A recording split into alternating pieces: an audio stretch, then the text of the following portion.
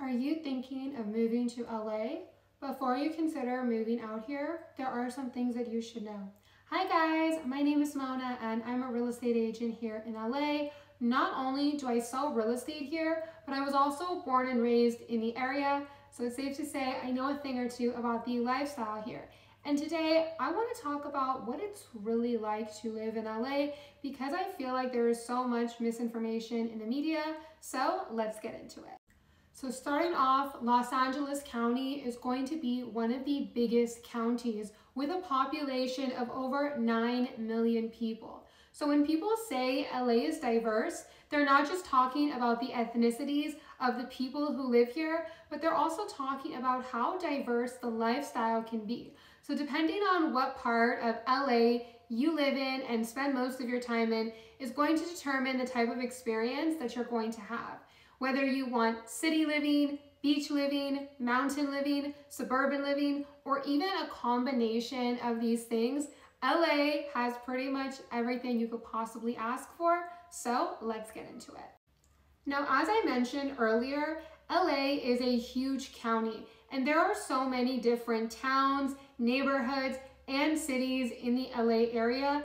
Honestly, we could break LA up into so many different parts However, I want to keep things very simple. So for the sake of this video, we're just going to divide LA up into two major parts. The first part is going to be the San Fernando Valley, or as I like to call it, the Valley. And then we're going to have the West Side, which is what people really consider LA. So starting off with the West Side, what areas are going to be considered part of the West Side? Are going to be Santa Monica, West Hollywood, Beverly Hills, Bel Air. We can even include areas like Echo Park, Los Feliz, Venice, Malibu, downtown LA, and more as part of the West Side area. Now, each neighborhood in the LA area, even just on the west side alone, is going to have its own little unique charm to it. So areas like West Hollywood and Santa Monica are going to have a lot of young professionals, a lot of young single people living in these areas. Santa Monica is going to be a beach city that offers a great nightlife and so many fun activities to do. West Hollywood is also going to be a great area because it's very trendy and there's a lot of fun stuff to do in these areas. West Hollywood is going to have a more active nightlife. It's also going to have a larger LGBTQ community presence with the annual Pride Parade every year taking place in West Hollywood. And anytime you see a viral trendy place to go to in LA, it's typically going to be in West Hollywood, Catch LA, Community Goods, the Poppy Pop-Up we had a few weeks ago, are all going to be on Melrose as well as some other amazing shops and restaurants. You also have areas like Brentwood, Bel Air, Pacific Palisades, and Beverly Hills that are going to offer you upscale residential living. So that's where you're gonna see a lot of 20, 30, 40, 50, 60, and more million dollar homes in these areas of LA. Downtown LA is going to offer you city living, and then you're going to have areas like Venice Beach, Echo Park, Silver Lake, Los Feliz that are going to have more of that hipster vibe to it. Now that we talked a bit about the west side, let's move on to the San Fernando Valley.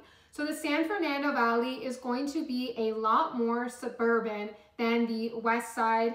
You're going to get more for your money over here and you're going to see a lot more families here. However, you also have young professionals as well as your favorite athletes and celebrities who actually prefer to live in the San Fernando Valley. And in the past few years, I have definitely seen more people moving to the valley over the west side. And there are a few reasons why I personally think living in the valley is actually better than living over on the west side.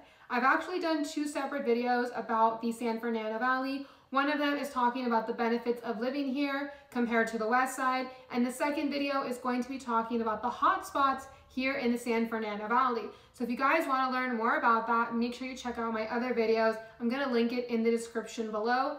The San Fernando Valley has so many different neighborhoods to it. We will talk about these different neighborhoods in more detail. I have done videos talking about Encino as well as Calabasas and I will link those videos in the description as well if you want to learn more about it.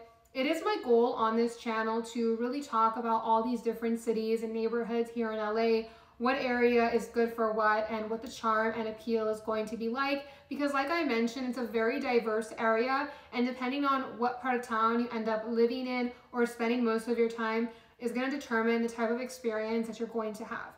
Now, like I was saying earlier, the San Fernando Valley is going to be very suburban, but you still will see a lot of young professionals as well as athletes and celebrities. Now, some parts of the San Fernando Valley that are going to have a lot more of a younger demographic to it is going to be areas like Sherman Oaks and Studio City. These areas will give you kind of the best of both worlds because you're still in the San Fernando Valley, but you get a lot of the amazing benefits that come from living in LA, like that stereotypical LA lifestyle. So I definitely love those areas. They're my personal favorites and I love going there. There's so many amazing restaurants and cafes that I can recommend in that area. And it's also going to be a lot closer to the west side if you still want to get to the LA area when you need to be and then come back home when you need to be. Now, as I mentioned earlier, LA is very diverse. We have all these different neighborhoods. So whether you want beach living, mountain living, suburban living, city living, or even a combination of these things, LA has everything you could possibly ask for. However, I haven't talked about any neighborhoods that are located in the mountains. So let's talk about Topanga. So Topanga is going to be located in the mountains between Santa Monica, Malibu, as well as Calabasas and Woodland Hills, right in the middle in the mountains. And it is such a beautiful area. You have these beautiful mountain views throughout. It's a very bohemian, tight-knit community that is away from the hustle and bustle of the city. However, you still have close access to the beach, whether you want to go to the Santa Monica beach or the Malibu beach, which each have their own unique charm, or you need to get to the city to take care of your errands. You're close to Woodland Hills as well as Calabasas. Now I know I was very vague in this video talking about all these different parts of the LA area. However, I just wanted to give you guys a general idea, especially for those of you who have never been out here and you don't really know what it's like in all these different parts of LA because each neighborhood in LA has its own appeal. That's why I absolutely love living here. Now, if you guys want to learn more about the amazing lifestyle here in LA and what neighborhood is good for what, make sure you subscribe to my channel because that is actually my goal here on the channel it is my goal to talk about all these different neighborhoods and cities here in the LA area to give you an idea of what the benefits are to living in those areas, what's good for what, whether it's good for young professionals, whether it's good for families, what the price point looks like, and all of this stuff. I want to keep things very general um, and very to the point because I don't want to overwhelm you. But if you have any questions, make sure you comment them down below. I would love to answer them for you. And if you're thinking of buying or selling real estate here, I'd love to offer my services to you. So let's get in contact because I offer free consultations. All my information will be in the description below. And I will see you guys in my next video. Thank you so much for watching. Bye.